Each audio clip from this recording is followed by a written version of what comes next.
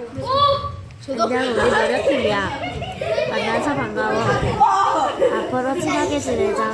대박 잘했습니다 오늘 한 소감 재밌어요.